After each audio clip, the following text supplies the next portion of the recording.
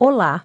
Primeiramente, seja bem-vindo ao canal. Lembre-se de deixar seu like e se inscrever clicando no botão inscrever-se e depois no sininho. Obrigada!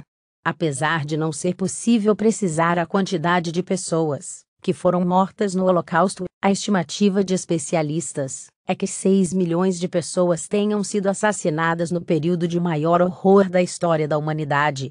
Uma das tragédias mais emocionantes e chocantes da nossa história, o genocídio de judeus durante a Segunda Guerra Mundial dizimou famílias inteiras, e os que conseguiram fugir talvez nunca mais tenham conseguido ter notícias de seus familiares que sobreviveram.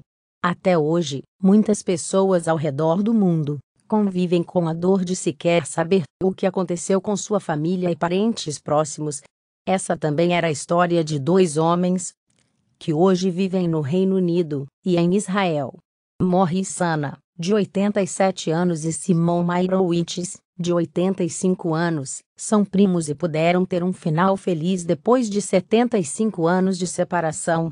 Melhores amigos na infância, e os primos foram separados quando os nazistas invadiram a Romênia, seu país natal, em 1940. A guerra que chegou ao país separou as famílias dos dois, que tomaram rumos diferentes na fuga.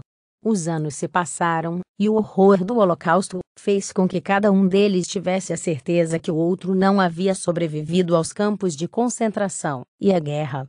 Mas a tecnologia pode ser uma ótima aliada para reconectar as pessoas. Há algum tempo, a sobrinha de Morris encontrou a filha de Simon no Facebook, enquanto procurava pistas sobre parentes que nunca havia conhecido. Foi assim que ela descobriu que Simon estava vivo e vivendo bem no Reino Unido, enquanto Morris vive em Hainana, Israel. Depois de décadas acreditando que haviam perdido o primo e amigo de infância para o Holocausto, os dois se viram frente a frente em uma reunião emocionante organizada pela família. O reencontro aconteceu em Tel Aviv, Israel.